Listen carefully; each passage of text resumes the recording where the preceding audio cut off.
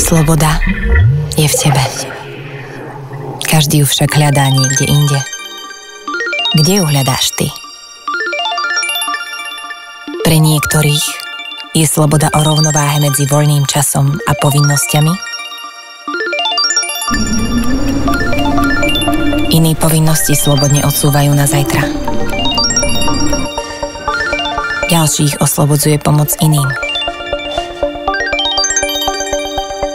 Niektorí vidia slobodu v peniazoch a úspechu. A niektorí slobodne rebelujú, aj keď iba s vreckovým od rodičov.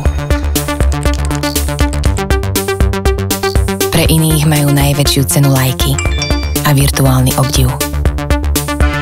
Ďalším stačí plný batoh a prázdne vrecká. Niektorí nájdu slobodu v bohatstve online sveta. A pre iných je najväčším bohatstvom lacná letenka.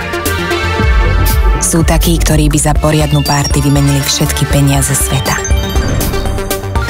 A aj takí, ktorí vraj celý svet už dobili. Urobili sme najväčší prieskum o slobode a peniazoch medzi mladými Slovákmi. Otestuj sa aj ty na najslobodnejší.sk.